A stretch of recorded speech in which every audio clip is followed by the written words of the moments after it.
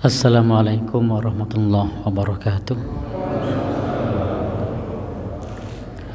Alhamdulillah Innal hamdalillah nahmaduhu wa nasta'inuhu wa nastaghfiruh wa na'udzu bihi min syururi anfusina wa min sayyiati a'malina. May yahdihillahu fala mudhillalah wa may yudlilhu fala أشهد أن لا إله إلا الله وحده لا شريك له وأشهد أن محمدا عبده ورسوله. اللهم صل وسلم على رسولك وحبيبك محمد بن عبد الله وعلى آله وصحبه ومن اتبع هدى وجاهد في سبيله إلى يوم الدين أما بعده Bapak-bapak, ibu-ibu yang berbahagia, ada ibunya? Oh ya, tidak ada. Yang online insya Allah ada. Bapak-bapak, ibu-ibu yang berbahagia, ikhwan sekalian, ikhwah sekalian, pertama-tama kita panjatkan puji dan syukur kehadiran Allah. Alhamdulillah di kesempatan kali ini kita dipertemukan oleh Allah Subhanahu wa taala dalam suasana yang berbeda Alhamdulillah masjid ini terasa lebih adem dan lebih pading dari biasanya. Dan tanpa terasa saya di sini merasakan ada banyak perubahan sejak ngisi taklim di PRM sejak 16 tahun yang lalu. Nah, jadi ternyata udah lama ya. Sejak Mas Fauzan masih unyu-unyu. Nah, sekarang sudah jadi MC. Saya masih ingat dulu suka ikut sama bapak nih. Nah, dan beliau bercerita salah satu tertarik datang itu karena ada apa? Pacitan. Ada pacitannya. Nah, jadi ya wajar waktu itu 16 tahun yang lalu kan masih umur berapa? SMP. Ya, masih umur berapa berarti? Sekarang umur berapa? Baik. Jadi ternyata sudah lama dan perubahannya sudah beda banget dengan yang pertama dulu. Masjidnya tidak seperti ini. Sebelah juga berubah. Termasuk samiran itu yang dulunya marmer malah jadi ya. Ya. Berubah. Baik.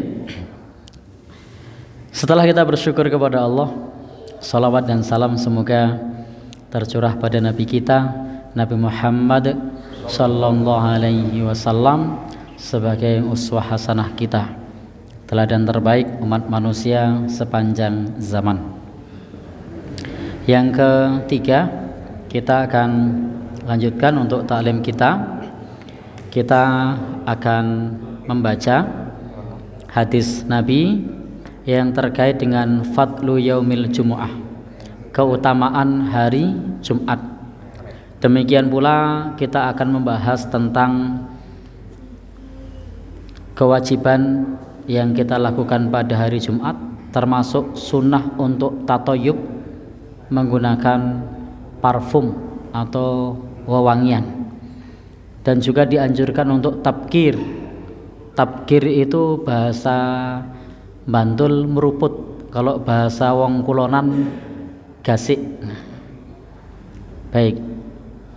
Apa bahasa sini meruput gasik? Bahasa sini apa? Sama ya? Nah. Dan juga anjuran berdoa pada hari Jumat termasuk anjuran untuk memperbanyak salawat kepada Nabi Shallallahu Alaihi Wasallam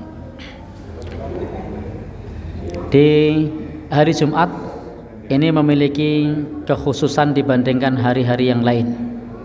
Karena hari Jumat itu hari antara hari yang kelima dan ketujuh.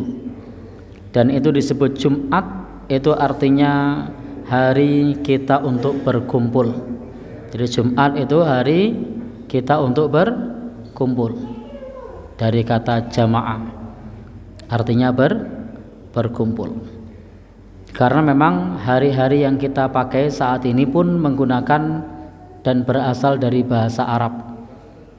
Hanya berubah untuk hari yang pertama. Ahad itu artinya hari pertama. Itu berubah di tempat kita menjadi minggu. Tapi aslinya untuk orang-orang yang kasepuan itu masih biasa menyebut ahad. Termasuk yang hadir di sini ketika ada kajian di hari ahad nyebutnya kajian ahad pagi apa minggu pagi?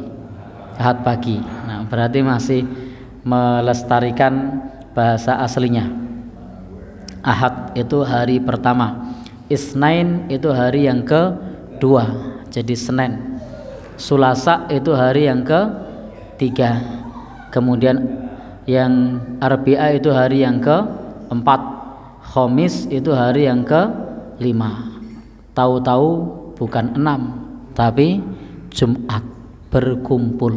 Nah, jadi hari Jumat itu hari kita untuk berkumpul hari raya umat Islam untuk ber, berkumpul. Tidak disebut enam tapi disebut kumpul.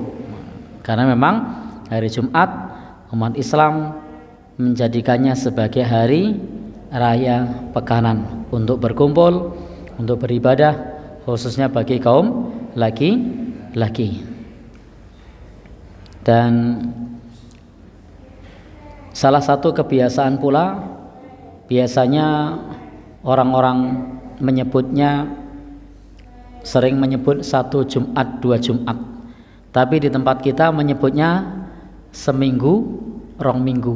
Nah ya jadi kultur Islam itu menyebutnya satu Jumat dua Jumat tapi kultur kita menyebutnya seminggu rong minggu dulu Muhammadiyah termasuk yang berusaha untuk menggunakan Jumat apa buktinya liburnya hari Jumat nah mong kuat suwe nah jadi tidak kuat lama.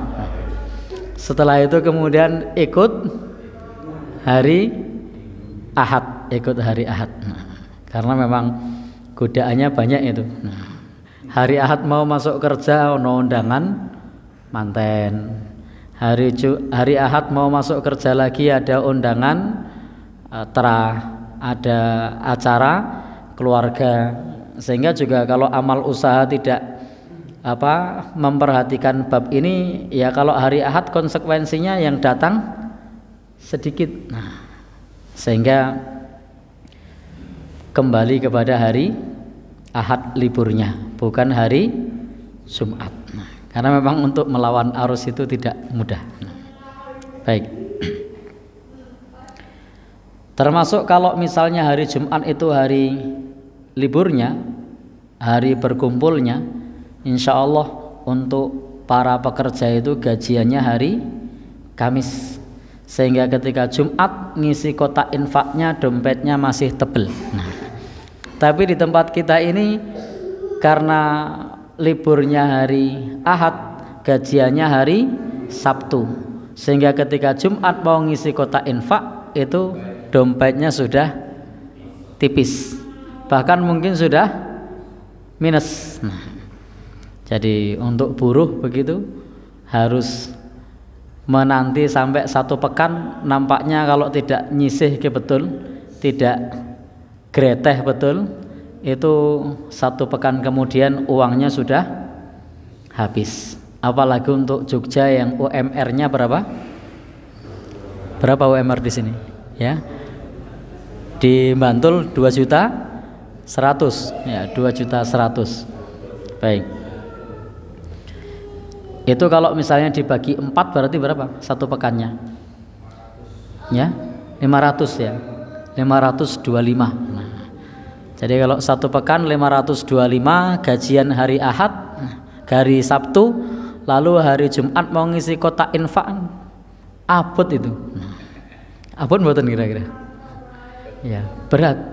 Karena hari Sabtu gajian, Ahad sudah belanja cara keluarga Jumat mau ngisi kota infak sudah akhir-akhir nah, beda kalau gajiannya hari Kamis nah, Jumat dompetnya masih tebel masih kuat infak nah dengan nominal yang lebih gede Baik. Intinya Jumat adalah hari yang ber bagi kita untuk ber berkumpul, untuk beribadah. Dan hari yang dikhususkan untuk umat ini, hari yang dikhususkan untuk umat ini. Sementara orang-orang Yahudi hari rayanya hari Sabtu dan orang Nasrani harinya hari Ahad. Dan untuk hari Jumat ini termasuk hari yang disebutkan di dalam hadis memiliki banyak keutamaan. Dan dulu umat-umat terdahulu juga sebenarnya hari rayanya adalah hari Jumat. Termasuk orang-orang Yahudi dulu hari rayanya hari Jumat. Tetapi karena mereka adalah para nelayan sehingga hari Jumat itu malah sibuk dengan bernelayan. Maka kemudian digeser hari Sabtu. Ternyata hari Sabtu mereka masih mancing juga, masih apa menjadi nelayan pula. Tidak hanya sekedar mancing ya, nelayan itu lebih dari sekedar mancing. Masih cari ikan juga. Baik. Kita lanjutkan.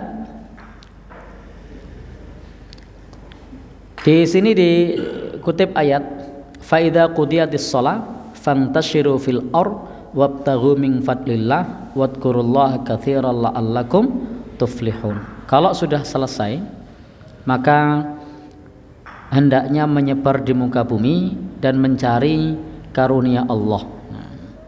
jadi kalau sudah selesai sholat kita dianjurkan untuk menyebar di muka bumi untuk mencari anugerah dari Allah Subhanahu wa taala dan mengingat Allah, berzikir kepada Allah yang banyak agar beruntung.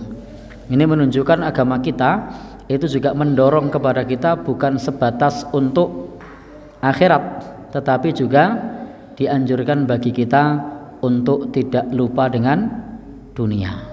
Maka Al-Qur'an mengatakan kalau sudah selesai sholat menyebarlah di muka bumi dan carilah anugerah dari Allah Subhanahu wa taala. Menunjukkan bahwasanya anugerah Allah rezeki itu tidak bisa dengan berpangku tangan, tapi kita hendaknya menjemput rizki dari Allah Subhanahu wa taala. Perintahnya adalah fangtashiru, menyebar.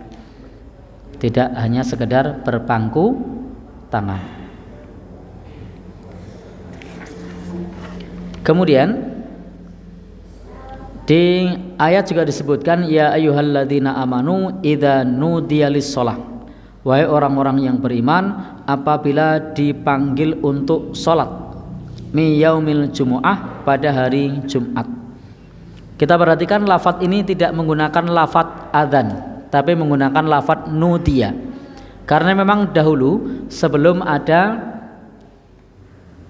perintah adzan, salat itu dipanggil. Ya dulu sholat itu dipanggil. Ketika di Mekah selama 13 tahun itu belum ada adzan. Jadi di Mekah selama 13 tahun itu belum ada adzan. Maka ketika awal diwajibkan sholat itu belum ada adzan.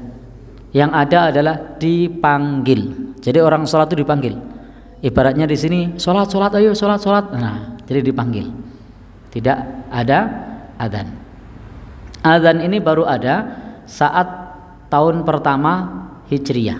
Jadi tahun pertama Hijriyah ketika sudah ada di Madinah dan itu sudah beberapa lama belum ada panggilan adzan. Yang ada adalah menggunakan cara nudialis sholat, dipanggil untuk sholat. Nah, baru kemudian para sahabat itu sangat menginginkan kalau sholat itu ada panggilan. Maka sejumlah sahabat usul kepada Rasulullah untuk menabuh lonceng.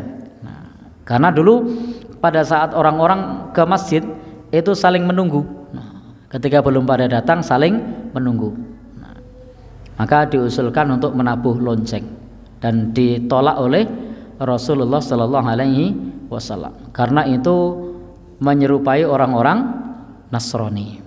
Lalu sahabat lain usul dipanggil dengan trompet.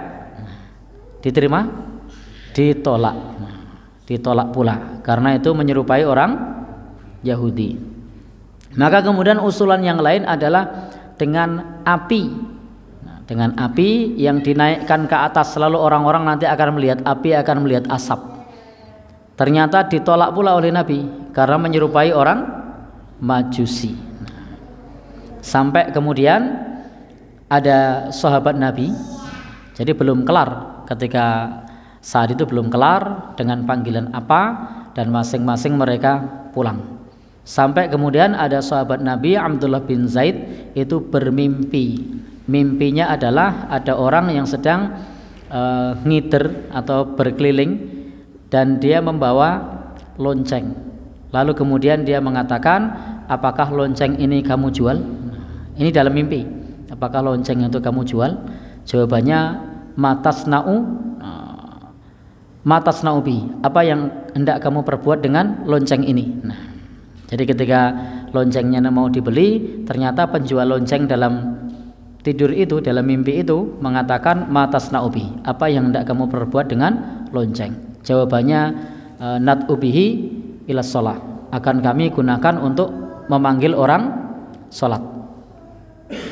Ternyata kemudian orang itu mengatakan kalau begitu ucapkanlah Allahu Akbar, Allahu Akbar, Allahu Akbar, Allahu Akbar sebagaimana dalam azan yang kita kenal. Nah, kemudian begitu pagi Abdullah bin Zaid ini datang kepada Rasulullah menceritakan mimpinya semalam. Menceritakan mimpinya semalam dan itu disetujui oleh Rasulullah Shallallahu alaihi wasallam.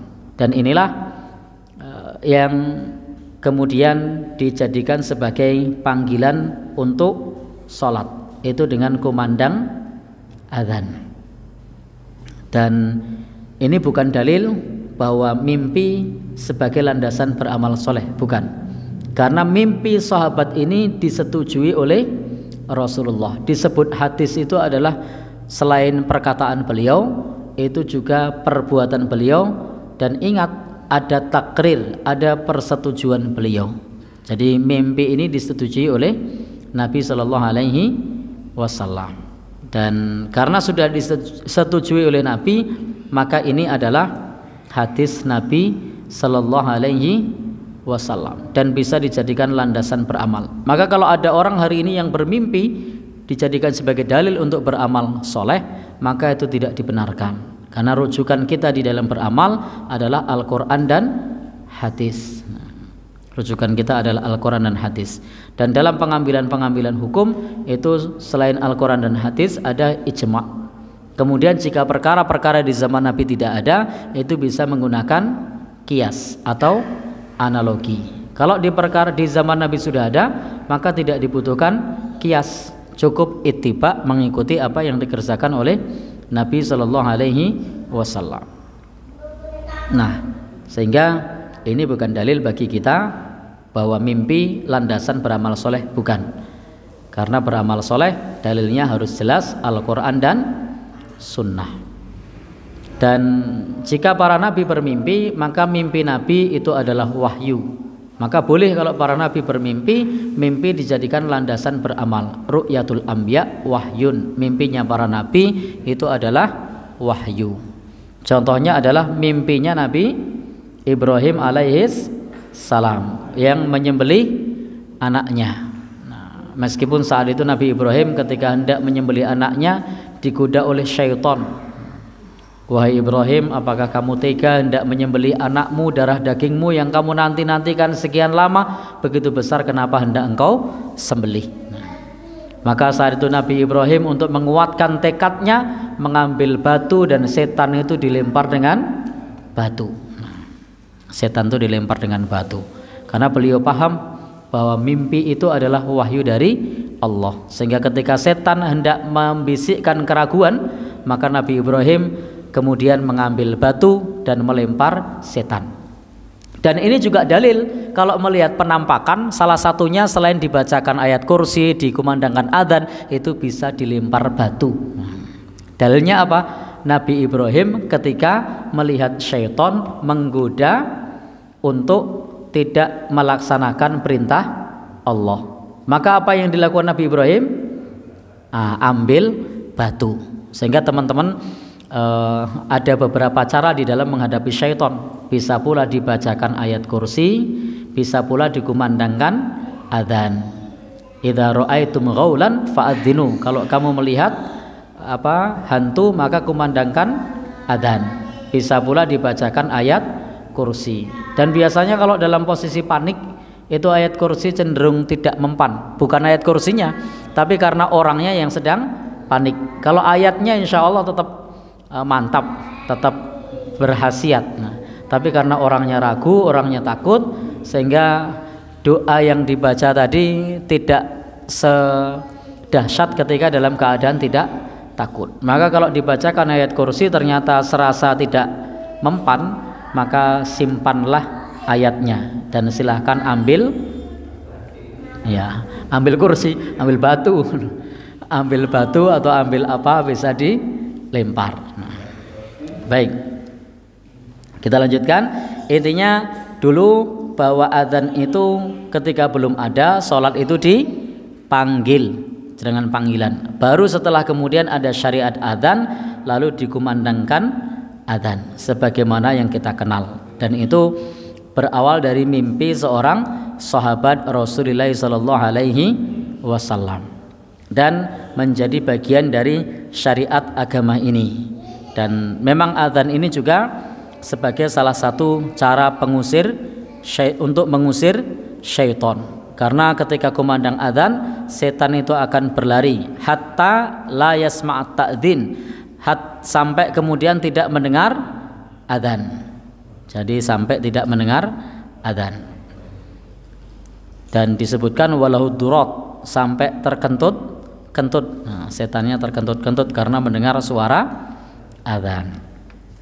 Baik. Jadi apabila dipanggil untuk sholat pada hari Jumat, ini menunjukkan bahwa saat itu belum turun, belum ada syariat adzan, tapi masih dengan cara dipanggil fas'au ila dzikrillah maka hendaknya bersegera menuju zikrullah yakni menunaikan perintah Allah ibadah salat Jumat. Wadarul baik dan tinggalkan jual beli. Ini menunjukkan bahwasanya kita tidak boleh jual beli saat berlangsungnya salat Jumat jadi ketika berlangsungnya sholat Jumat kita tidak boleh jual beli khususnya bapak-bapak. Maka bapak-bapak tinggalkan jual beli pada saat berlangsungnya sholat Jumat. Dzalikum khairul lakum in kuntum ta'lamun. Yang demikian itu lebih baik jika kalian mengetahui. Jadi kalau hari Jumat hendaknya kita fokus untuk beribadah. Khususnya pada saat sudah masuk waktu Jumat. Dan hendaknya bersegera untuk tabkir bersegera berpagi-pagi menuju ke masjid. Sebelum imam naik mimbar sudah datang lebih dulu. Karena sunnahnya imam itu datang terakhir Kemudian tinggalkan segala bentuk jual jual beli, tinggalkan jual beli. Untuk apa? Untuk ber, beribadah. Kenapa? Karena waktu untuk berdagang, waktu untuk mencari rezeki itu masih luas, masih panjang. Sementara sholat Jumat ini tidak lama. Maka kemudian Al-Quran mengatakan faida qudiyatis sholat kalau sholatnya sudah selesai fantashiru fil ar silahkan untuk menyebar di muka bumi wabtaghu min fadlillah dan mencari karunia Allah Subhanahu wa taala. Wadkurullaha katsira la'allakum tuflihun. Dan ingatlah kepada Allah yang banyak agar kalian menjadi orang yang beruntung. Dan ini ditujukan kepada orang yang beriman untuk meninggalkan jual beli. Ya, ini termasuk aktivitas kantor. Jangan sampai kan yang suruh ninggalin jual beli. Ini kan kantoran, bukan jual beli. Ya. Jadi jangan dilihat kepada mantuknya tapi kepada mafhumnya. Nah, karena prinsipnya orang yang di kantoran itu juga produknya tidak lepas dari jual beli. Nah, orang kantoran itu juga produknya tidak lepas dari jual beli. Jadi tidak boleh kita menggunakan dalil ini kok santai-santai. Kan yang disuruh bersegera yang jual beli. Nah, kami ini tidak jual beli. Nah, itu memahami dalilnya ngawur. Karena itu juga masuk bagian dari jual beli. Tidak boleh pula nanti pak guru sama bu guru nah, kok masih santai? Nah, yang disuruh bersegera kan yang jual beli. Kami ngajar kok. Baik. Jadi ini ditujukan kepada orang yang beriman untuk ber, bersegera. Untuk hadir sholat Jumat jadi untuk aktivitas duniawi ditinggalkan untuk sementara waktu, ditinggalkan untuk sementara waktu. Dan saat ini yang disebut dengan panggilan untuk sholat itu adalah adzan. Jadi yang saat ini disebut panggilan untuk sholat itu adalah adzan. Maka ketika sudah adzan, khususnya pada saat imam naik mimbar, karena ada masjid yang adanya sekali ada yang dua kali dan kalau kita di kultur Muhammadiyah itu adanya satu kali nah, kalau seperti di Masjidil Haram adanya dua kali adzan yang pertama juga sebagai peringatan bagi orang yang tawaf bahwasanya hampir masuk waktu sholat Jumat agar tidak ada orang yang memulai tawaf yang baru. Nah. Baik. Kita lanjutkan. Maka dulu adzan itu hanya sekali memang di zaman Nabi Shallallahu Alaihi Wasallam. Nah, ketika di zaman sahabat Utsman ibn Affan itu banyak orang di Madinah itu ketika kumandang adzan pada belum hadir ke masjid. Maka kemudian sahabat Utsman memerintahkan untuk mengumandangkan adzan di keramaian agar orang-orang hadir ke masjid pada saat hari Jumat. Baik. Bapak dan saudara yang berbahagia yang dirahmati Allah Subhanahu wa taala. Jadi intinya di dalam ayat ini ketika kita mendengar adzan Jumat atau sudah hari Jumat, kita segera menuju ke masjid dan jual beli pada hari itu atau aktivitas keduniaan pada saat itu hendaknya di, ditinggalkan untuk beribadah kepada Allah Subhanahu wa taala. Insya Allah tidak lama, tidak sampai satu jam. paling banter setengah jam sudah selesai. Kalau di sini berapa jam? Ya, 45 lama berarti termasuk lama itu kalau 45 ya kalau saya biasanya khotib itu paling 10 menit. Nah, paling lama 12 menit. Karena nanti sudah ada adzan ada sholat ya selesai maksimal 25 atau 30 menit. Nah, baik. Kita lanjutkan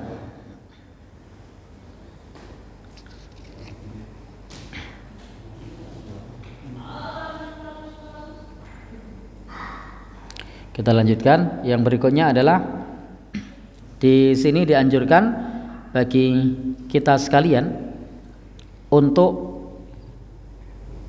betul-betul fokus mendengarkan khutbah. Betul-betul fokus mendengarkan khutbah karena itu semua bagian dari ibadah kepada Allah Subhanahu wa taala. Maka selama kita sholat Jumat, maka pada saat sholat Jumat itu mulai dari datang kemudian imam naik mimbar itu kita tidak boleh aktivitas yang lain kecuali mendengarkan khotib yang sedang berkhutbah dengan seksama. Baik, yang berikutnya hadis Nabi dari sahabat Abu Hurairah, semoga Allah meridhoinya berkata, Qala Rasulullah sallallahu alaihi wasallam, Rasul sallallahu alaihi wasallam bersabda, khairu yaumin tala'at alaihi syamsu yaumul jumu'ah. Sebaik-baik hari matahari terbit adalah hari Jumat. Jadi hari yang terbaik pada saat matahari terbit itu adalah hari Jumat.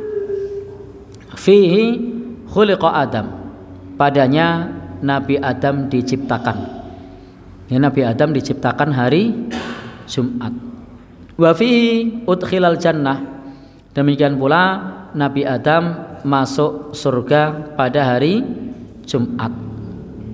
Dan wa fihi ukhrija minha dan pada hari Jumat pula Nabi Adam dikeluarkan dari surga. Jadi hari Jumat itu ada pengalaman menyenangkan, ada pula pengalaman menyedihkan.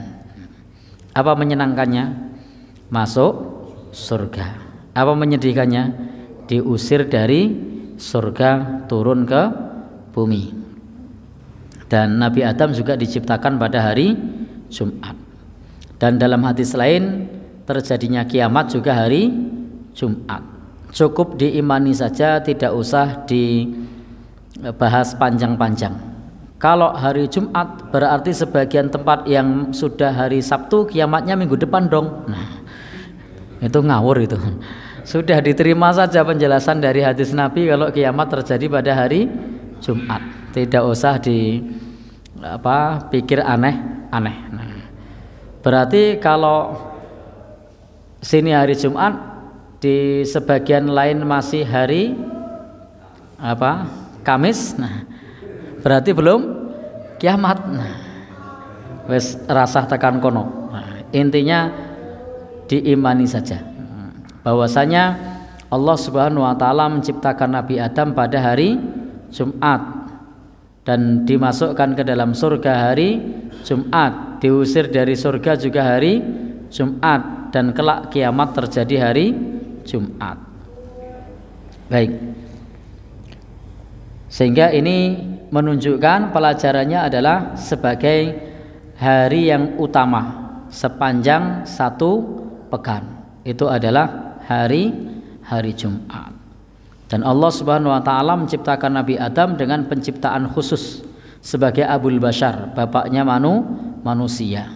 Khalaqallahu azza wa jalla biyadihi. Allah Subhanahu wa taala menciptakan Adam dengan tangannya dan khalaqahu min turab Allah menciptakannya dari tanah thumma qala kemudian Allah berfirman kun fayakun jadilah maka akan terjadi ini adalah kuasa Allah Subhanahu wa taala maka Allah kemudian firmankan uskun anta nah, diperintahkan untuk tinggal wa zaujukal jannah jadi tinggallah kamu dan istrimu di surga. Fakula min haitsu syi'tuma dan diminta untuk bersenang-senang, silahkan makan sesukanya.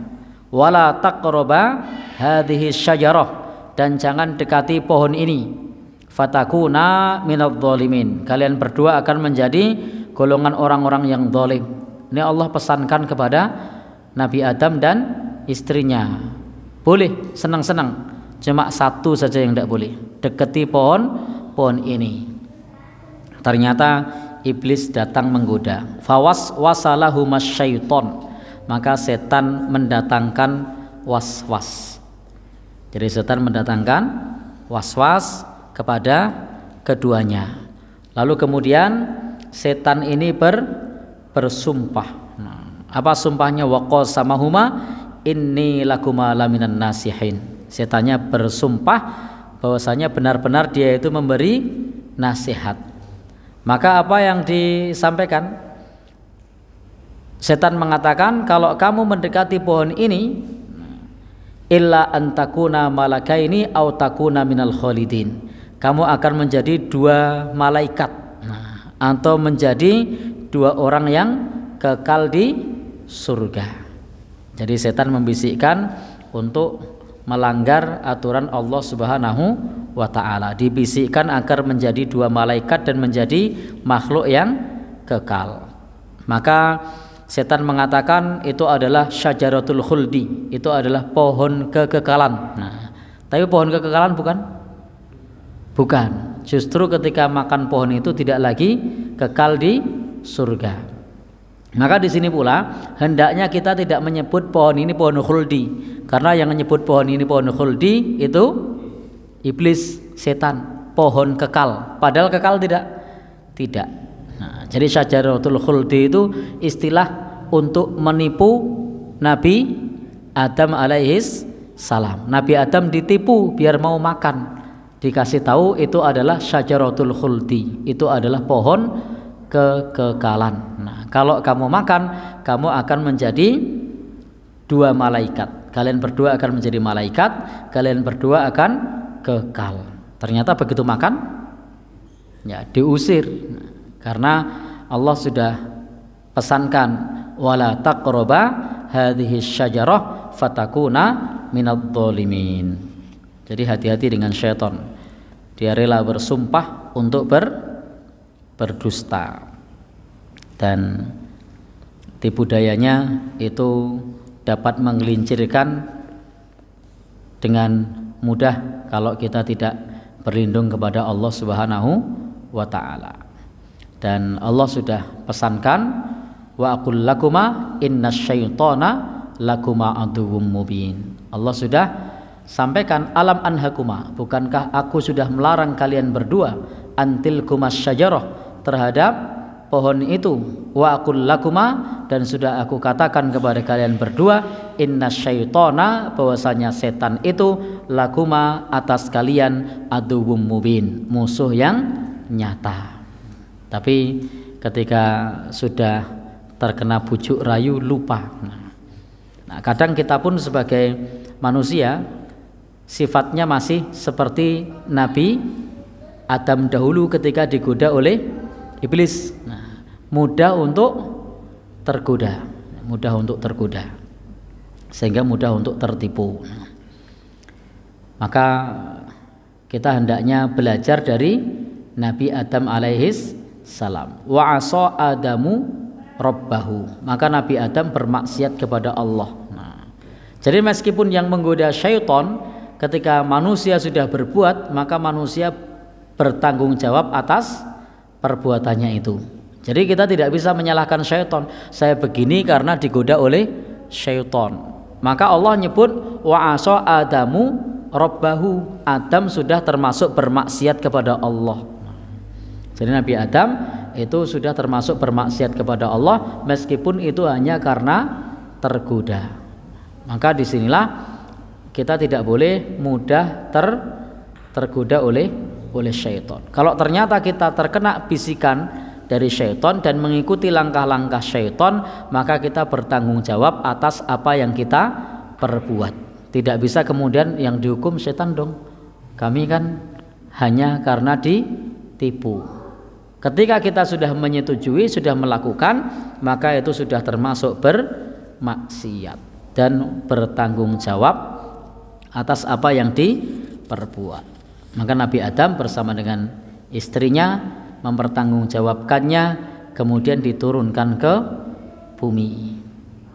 Sehingga para ulama menyebut hubbul watani minal iman. Cinta tanah air itu sebagian dari iman manusia dilahirkan dari surga maka tanah airnya manusia itu di surga maka merindukan surga cinta surga itu sebagian dari iman itu makna ungkapan para ulama hubbul watani minal iman. Cinta tanah air sebagian dari iman. Karena tanah air kita adalah surga. Aslinya dilahirkan, diciptakan di surga. Lalu kemudian diusir karena telah melakukan satu uh, pelanggaran. Maka kita merindukan surga, cinta surga. Itu yang disebut cinta tanah air sebagian dari iman menurut Imam Ibnu Rajab Al-Hambali. Baik, Bapak Ibu yang berbahagia yang dirahmati Allah Subhanahu wa taala. Jadi ini adalah keutamaan hari Jumat. Nabi Adam diciptakan padanya, Nabi Adam dimasukkan surga, Nabi Adam diusir. Dan di situ ada hikmah, ada hikmah bagi kita. Bahwasanya ketika kita melakukan sesuatu hendaknya kita segera bertaubat karena turunnya Nabi Adam ke bumi itu disebabkan maksiat. Nah, turunnya Nabi Adam ke bumi disebabkan maksiat. Maksiat itu artinya membangkang. Nabi Adam membangkang, maka kemudian diturunkan ke ke bumi. Dan Nabi Adam itu segera mengakui kesalahannya. Rabbana dzalamna anfusana wa illam takfir lana wa tarhamna lanakunanna minal khosirin. Maka kalau kita berbuat salah, hendaknya kita meneladani sebagaimana Nabi Adam, kita segera mengakui salah dan bertobat. Rabbana wahai Tuhan kami, zalamna kami telah menganiaya diri kami sendiri, angfusana diri kami sendiri, wa illam takfir lana jika engkau tidak mengampuni kami, wa tarhamna jika engkau tidak merahmati kami, lanakunanna minal khosirin. Niscaya kami termasuk orang-orang yang yang merugi. Baik. Dan Allah Subhanahu wa taala menerima taubatnya Nabi Adam alaihis salam. Tapi sudah diturunkan ke dunia. Dan sudah beranak cucu. Nah, anak cucunya masih di dunia. Baik. Kita lanjutkan hadis yang kedua wa anhu dan darinya maksudnya siapa ini darinya dari sahabat Abu Hurairah dari sahabat Abu Hurairah anin Nabi sallallahu alaihi wasallam dari Nabi sallallahu alaihi wasallam atau qala beliau berkata qala Rasulullah sallallahu alaihi wasallam Rasulullah sallallahu alaihi wasallam bersabda man tawaddoa barang siapa yang berwudu fa'ah sanal wudu lalu memperbagus wudu Thumma atal jumu'ah kemudian mendatangi sholat Jumat. Nah, jadi barang siapa yang berwudu dan menyempurnakan wudu, kemudian datang sholat Jumat, fastama'a, lalu kemudian mendengarkan, kemudian dianjurkan untuk diam, ghufiralahu, maka diampuni atasnya, ma bainahu wa bainal jumu'ah. Antara hari tersebut antara dirinya dengan Jumat dan ditambah tiga hari lagi. Artinya akan diampuni dosanya selama satu pekan plus tiga hari. Berarti berapa lama itu? Sepuluh hari.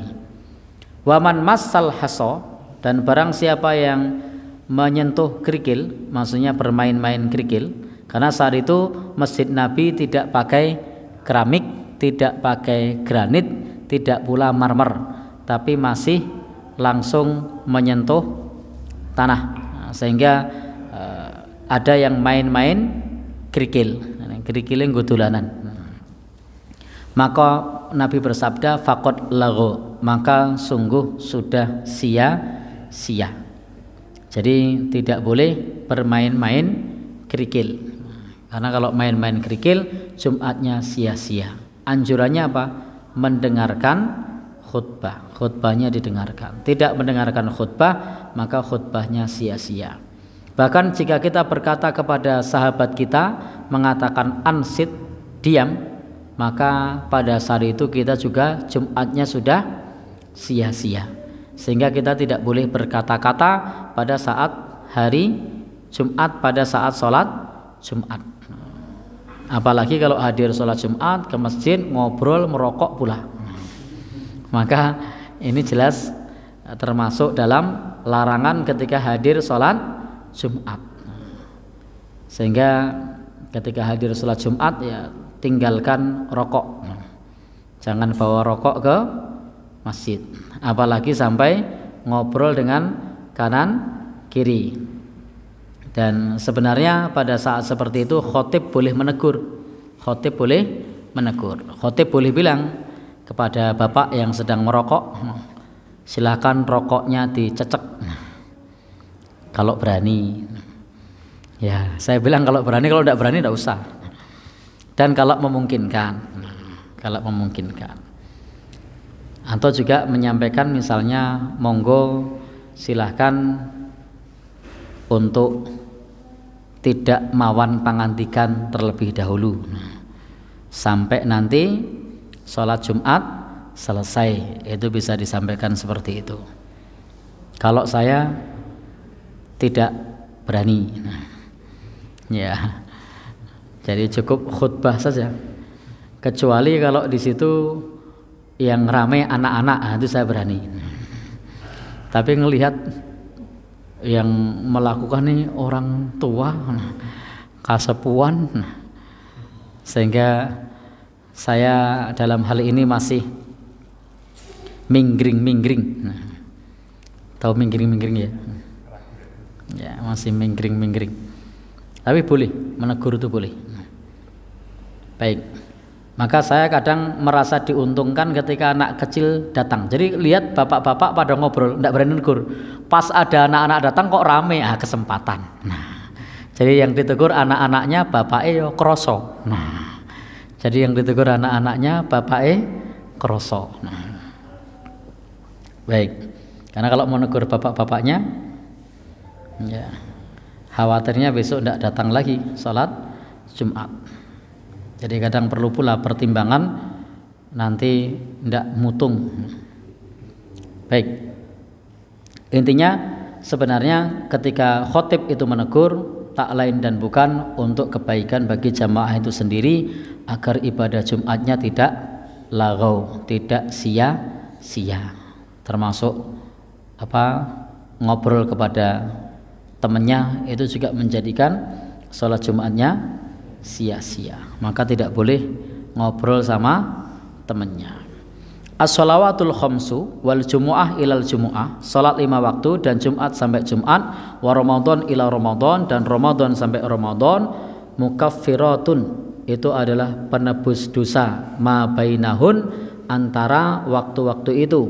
Idza tunibatil kabair. Apabila menjauhi dosa besar.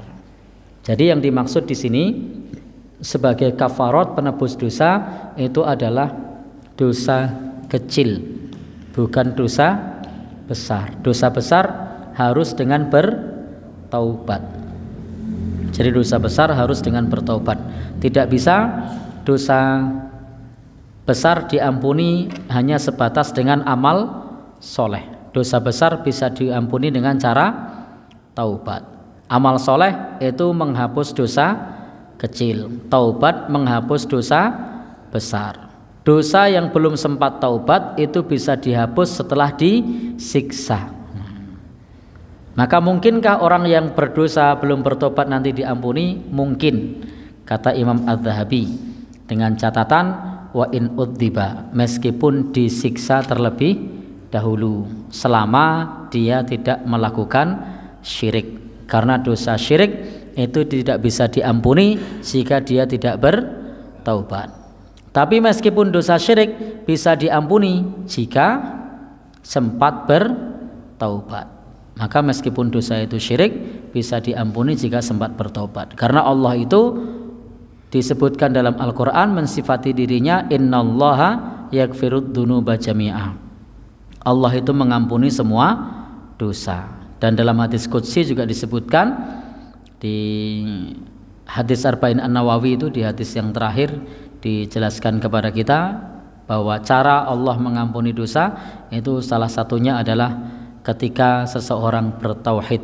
Maka nanti pada saatnya dosanya akan di diampuni. Maka penting bagi kita untuk tetap mentauhidkan Allah Subhanahu wa taala jauhi segala bentuk kesyirikan termasuk kalau di sini tadi hadis Nabi menjelaskan kepada kita dosa-dosa kecil itu bisa diampuni selama tidak melakukan dosa besar. Kalau melakukan dosa besar, maka dosa itu tidak bisa diampuni dan harus bertaubat kepada Allah Subhanahu wa taala.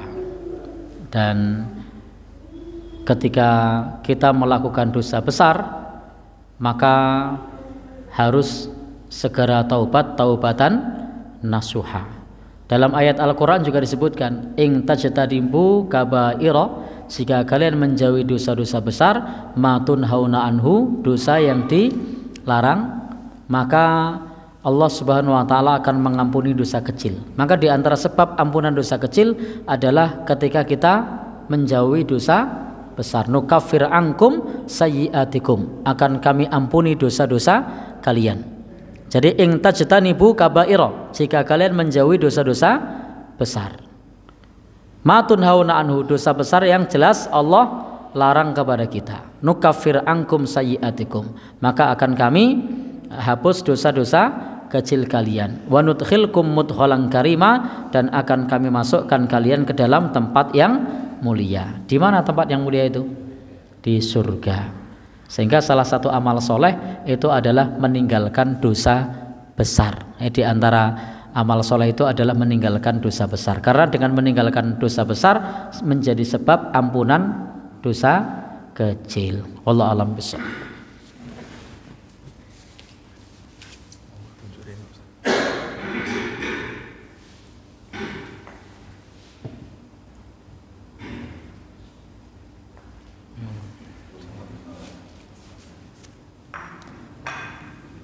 Cek. Bapak dan saudara yang dirahmati Allah, demikian penjelasan Ustadz Mujiman berkaitan dengan keistimewaan hari Jumat. Selanjutnya kami buka sesi tanya jawab kepada Bapak dan saudara, kami persilahkan. Monggo Bapak.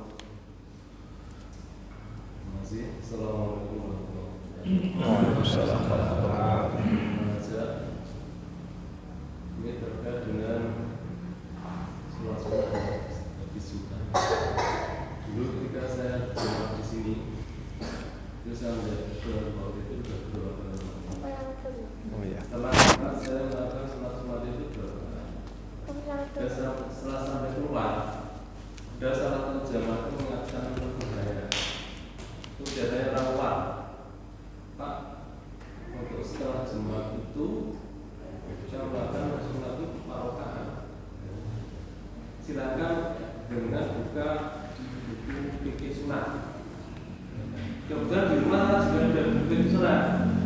Saya tidak. Ternyata kalau kita melakukan sunnah setelah jumat itu kalau di dilakukan dengan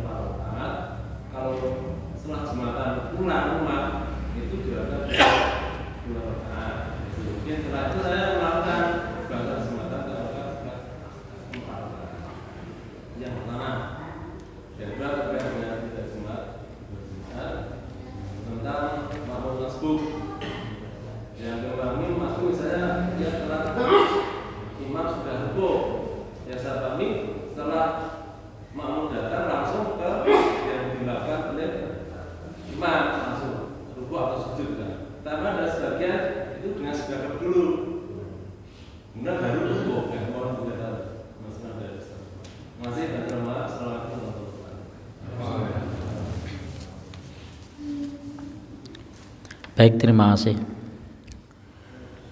Untuk yang pertama terkait sholat sunnah selepas Jumat. Ini topik bahasan kita beberapa saat yang lalu. Bahwa sholat sunnah setelah Jumat dua rakaat maupun empat rakaat itu semua ada dalilnya. Jadi sholat dua rakaat maupun empat rakaat semua ada dalilnya. Contohnya di sini hadis muttafaq alaih annahu shalla ma'an nabi sallallahu alaihi wasallam rakaataini ba'dal jumu'ah. Bahwasanya Nabi sallallahu alaihi wasallam sholat dua rakaat sesudah Jumat. Kemudian juga hadis lain kalau ini tadi dari sahabat Ibnu Umar Kemudian ini dari sahabat Abu Hurairah. Qala Rasulullah sallallahu alaihi wasallam, "Idza shalla ahadukumul jum'ah falyusalli ba'daha arba'an." Apabila kalian sholat Jumat, maka sholatlah sesudahnya empat rakaat. Hadis ini riwayat Imam Muslim. Kemudian juga untuk hadis yang lain.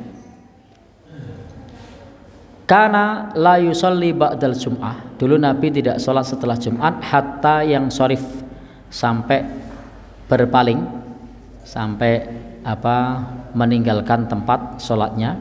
Fayusalli ini fi baitihi. Lalu sholat rokaat dua rokaat di rumahnya. Maka di dalam bab ini ini sebenarnya ada kelapangan.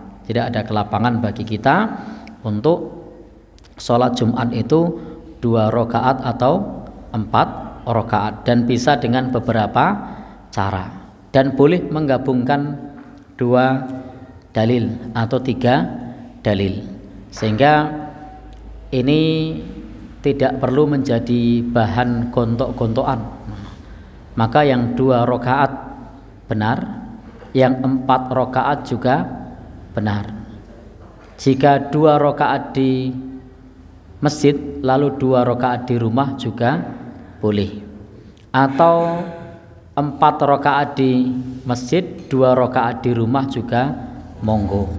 Itu tidak menjadi soal karena ini bagian dari variasi. Bagian dari variasi yang dalilnya ada. Sehingga ketika dalilnya ada maka silahkan monggo saja mengamalkan dalil selama dalil tersebut adalah dalil yang sahih. Selama dalil tersebut adalah dalil yang sahih maka silahkan. Dan empat rakaat itu dengan dua kali salam ya bukan dengan sekali salam. Jadi prakteknya dua rakaat salam dua rakaat salam. jadi bukan sekali salam. Jadi intinya di sini masuk kepada bab e, tanawu atau variasi. Ini masuk pada bab tanawu atau variasi. Bisa dikerjakan sesuai dengan apa dalilnya masing-masing. Baik, sehingga di dalam bab ini tidak perlu menjadi e, apa namanya perpecahan karena ini adalah bagian dari variasi. Allah alam besok. Yang kedua tadi? Oh ketika baik ketika kita gabung untuk sholat berjamaah bagaimana langkah kita? Itu memang ada dua. Dan ini bisa dipahami bahwa afdoliyahnya keutamaannya itu takbiratul ihram dulu. Nah baru kemudian mengikuti imam. Tetapi andai langsung bergabung maka itu juga boleh. Tetapi memang ada keutamaan untuk takbiratul ihram terlebih dahulu. Karena sholat itu di antara mengawalinya dengan takbiratul ihram. Tetapi jika langsung bagaimana? Dalil umum menunjukkan demikian. Dalil umum menunjukkan demikian. Kalau rukuk maka ikutlah rukuk. Wa idza raka'a farka'u. Apabila imam rukuk maka ikutlah rukuk. Wa idza sajada fasjudu. Kalau imam sujud maka ikutlah sujud. Sehingga di dalam masalah ini ketika ini bisa digabungkan maka kita bisa menggabungkan. Sehingga ketika kita gabung dengan takbiratul ihram terlebih dahulu maka itu keutamaan tetapi jika kemudian langsung bergabung itu tidak menyelisih hadis yang umum. Ya?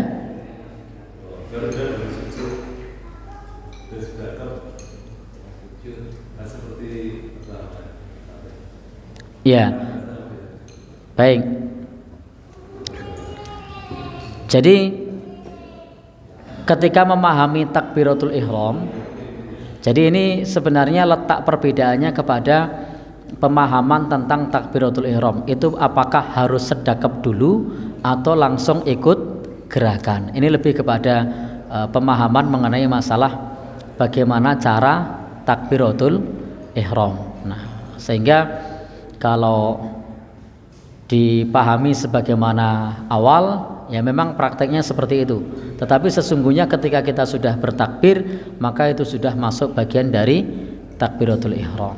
Allah alam besok jadi misalnya ketika imamnya udah sujud Allah Akbar langsung berusaha atau nggak usah gini boleh? Boleh. Demikian Bapak dan Saudara berhubung hidangannya sudah ada yang sudah ada monggo untuk dinikmati yang belum ada mohon bersabar insya Allah segera datang. Oke, selanjutnya satu lagi mungkin ada pertanyaan?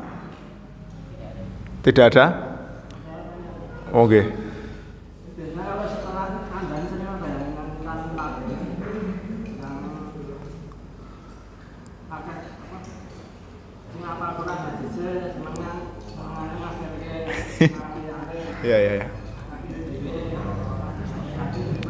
apa benar kan yang ada salah atau salah pribadi itu sering mengkafirkan atau suka mengkafirkan atau suka Pertanyaannya tadi gimana, Mas?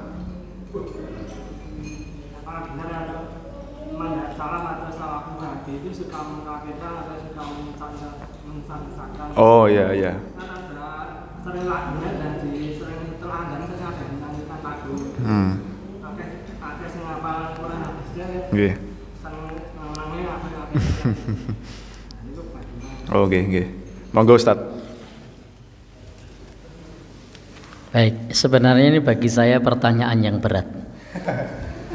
ya. Jadi gimana ini dijawab apa enggak ya? Baik. Saya jawab sebisanya. Kalau salah tolong dikoreksi. Ini banyak para senior nih.